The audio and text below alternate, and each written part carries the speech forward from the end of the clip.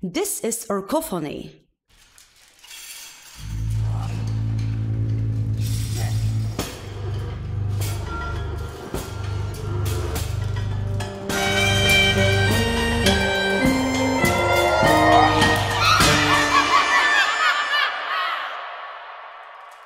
We're putting the orc back in the orchestra.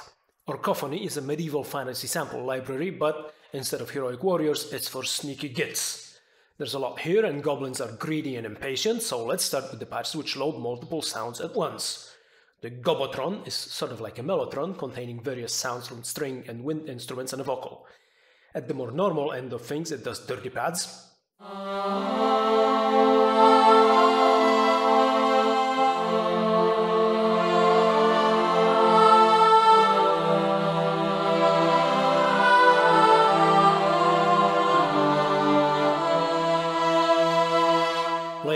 Layering the weirder sounds creates very strange textures.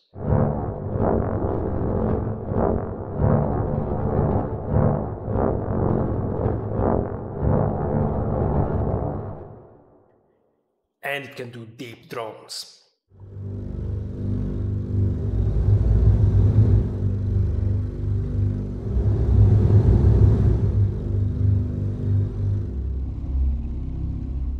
And this particular combination of a wind instrument playing notes and a string instrument making wind noises is sort of vaguely like a shakuhachi.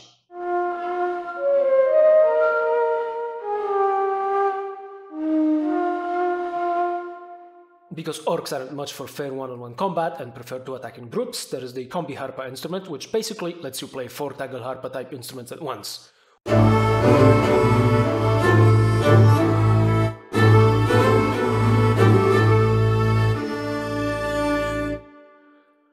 Textures patch collects all the rattling drums, scraped antlers, shaken bones, and all the other atmospheres from the percussion section, which are looped for infinite sustain, and lets four of them be selectable and blendable.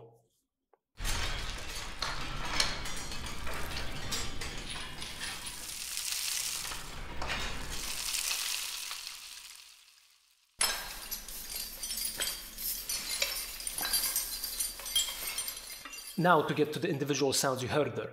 First up, and relatively normal, the suka biłgorajska is an old relative of the violin with a wide neck and strings fingered from the side instead of pressing into the fingerboard. Basically, it's the bowed lyre version of a violin, and you can think of it as a fiddle with a bright folky sound.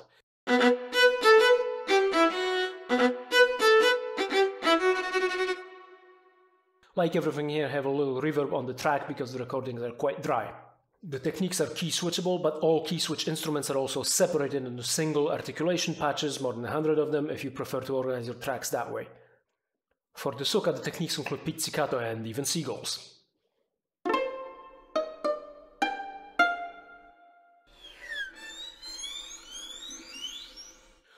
The suka and many others also has a unison control which uses the transposition trick to emulate a section of three sukas. This sounds so nice I just want to leave it on all the time, but to be fair, I'll leave it off for the other instruments with just one exception.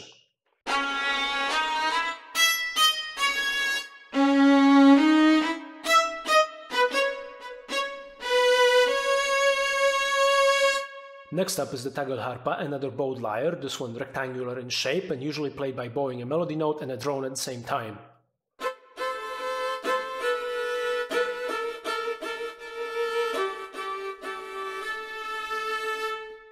Because the drones are fixed, this is really only usable in a few keys, so we added the transposition control which lets you shift the whole instrument over.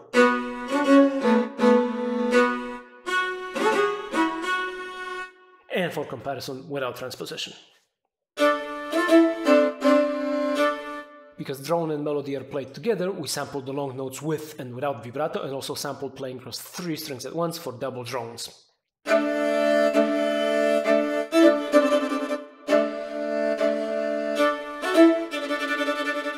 The tagelharpa played one string at a time works more like a violin with a limited range and vibrato here is fully controllable.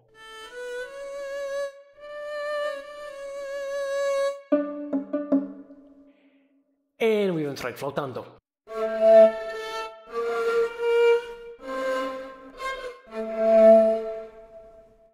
The strakharpa is basically the same as the tagelharpa, but its strings are horsehair instead of gut. The sound's much rougher and tuning less stable, so this is basically the tagelharpa with extra orcishness.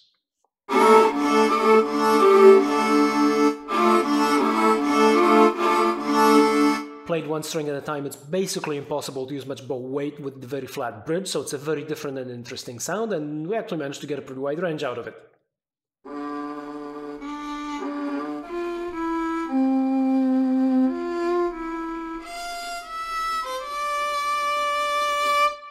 There is also a bass tagelharpa, which is longer and more or less lives in the cello range. Also horsehair strings on this one.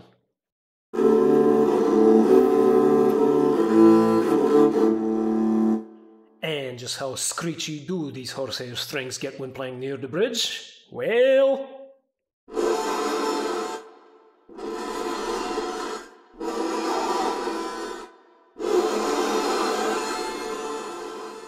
Then, leaving the bowed lyres for things closer to the violin family, we have basy góralskie, an old three-string bass fiddle from about 100 years ago.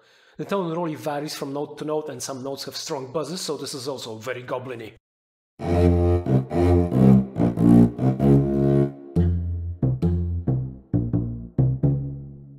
And there is a jet articulation. It's always a fun thing to sample, but takes a more modern bow than the bowed lyres used.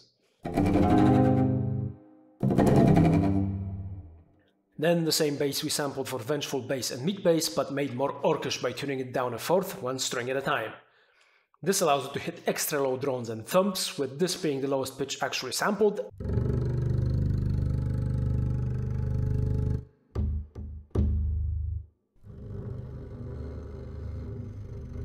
And some falls from higher pitches. Tuning down one string at a time also puts the string an octave below the next string, which lets us do some octave techniques.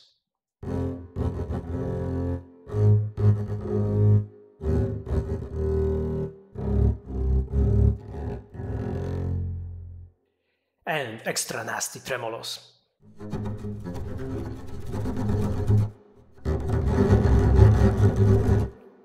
Now, tuned this low, it's not an easy instrument to play and there were plenty of flub notes and extra takes needed to get enough usable round robins. So I picked the most amusing flub for each note and put all those together into a special articulation.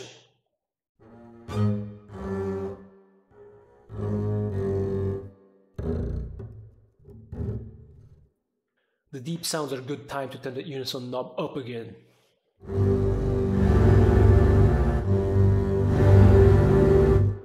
We also recorded bass with a drone and a melody string for a sort of contrabass tagelharpa.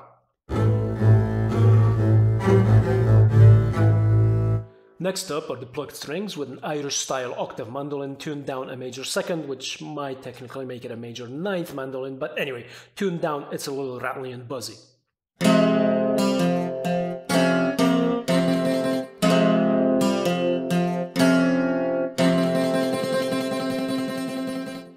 Then we sorta have an electric guitar, but because goblins are way too disorganized and lazy to maintain an electric grid, we didn't have a way to plug it into record, so in true Orcish spirit we put it down on top of a cajon, tuned the remaining five strings that haven't been changed since the 1980s to drop C, and went to town.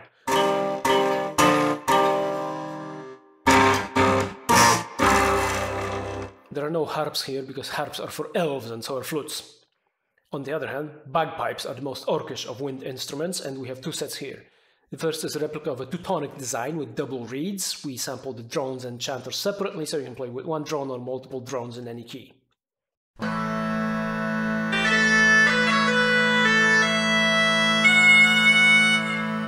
Leave the drone unplayed and you basically get a big double reed horn like a warped zurna.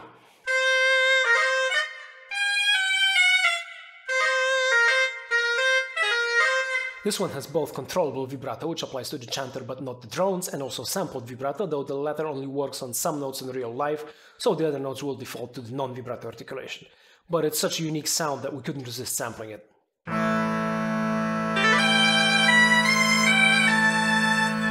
The second set of bagpipes is a Slavic version, with one drone, single reeds, and more clarinet-like tone. This one's got plenty of squawks, squeaks, and general instability, so crank up the release noises, play a single note, and it does a pretty good imitation of a bird call. And it has a bigger selection of inflating and deflating noises. As the first of the bagless winds, we have a horn made of a real horn of an ibex antelope. Unlike signal horns, it's got finger holes and is a playable instrument. The real thing is diatonic, but the samples can be played chromatically and the sound works surprisingly well for jazzy stuff.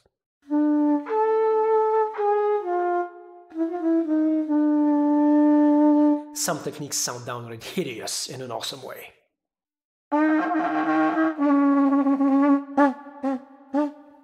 Then we have a bass trombone in F, even bigger and more orcish than your typical bass trombone.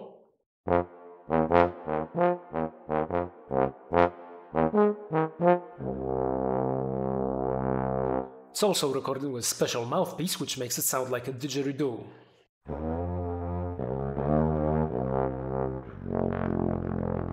The final playable wind instrument is the ophicleide, rarely played these days. It's pretty much a metal serpent with keys.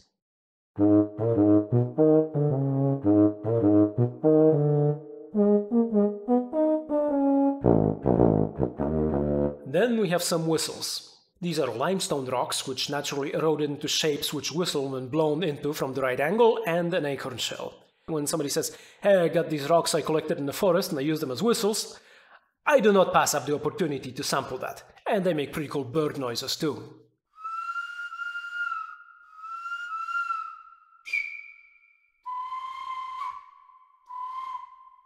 Speaking of sound effects, we also have vocals. This female vocal includes no singing, but you do get a massive variety of growls, grunts, and stuff.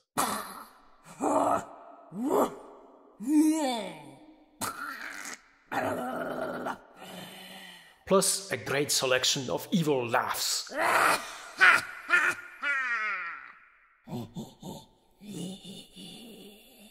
Turning up the unison control here gives you three variations of the same laugh at once. For lots of goblins, you can just mash multiple keys at once, and the randomized pan and randomized pitch controls help create the illusion of a group of various sizes in various locations.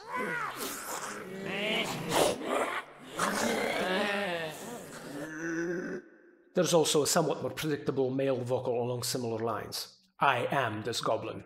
Ah! Ah!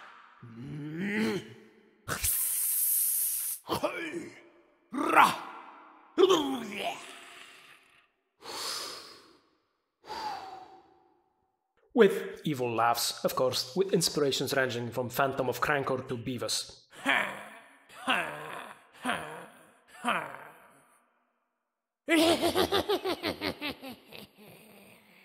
There's also a sung female vocal, which is hoarse and growly in the lower register and cleans up going higher.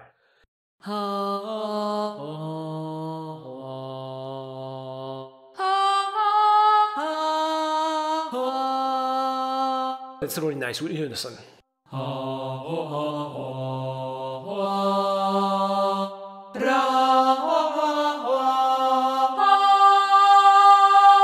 I'm going to switch legato off and play just one chord. And sure, there are evil laughs. then, because goblins love hitting things, there is a massive variety of percussion. Drums with various beaters and techniques. There's a drum my great grandfather made in the late 1940s from a sieve that my great grandmother had for sifting flour.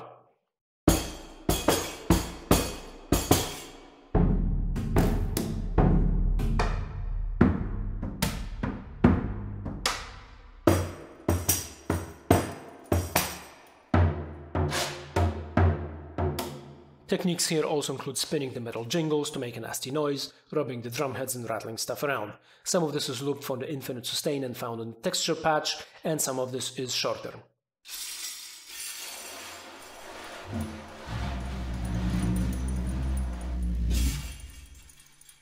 That little epic knob adds an extra copy of the overhead microphones tuned an octave down so it sounds extra low, plus the natural room reverb is twice as long.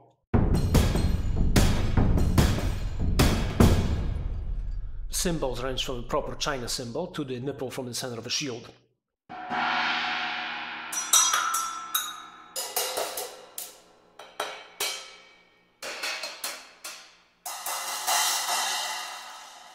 Earth is a term for a bunch of animal parts from cow teeth to seashells, wooden stuff including carved idol, and rocks used as percussion.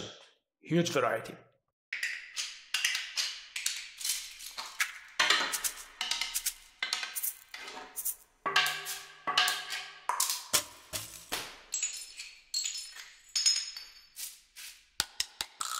Then we have metals. Looted weapons, armor, and tools for the occasions when an evil wizard forces orcs to do actual work.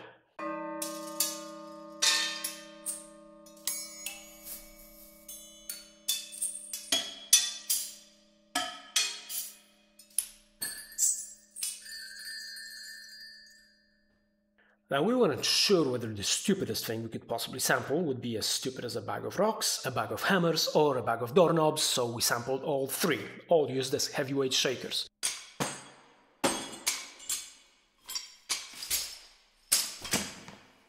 But what if you can't remember where you put all the stuff you looted and all you have left to hit is yourself and other orcs? Well, of course, that's body percussion.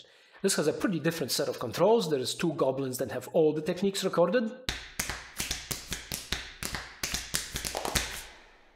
plus 4 more under the extras hitting themselves in the thighs and forearms. And last, and not only not least but literally largest, we have one of the few deep sampled dumpsters in the world. This, like the Ibex horn bass trombone and Ophicleide, was recorded by Versillion Studios in the Americas.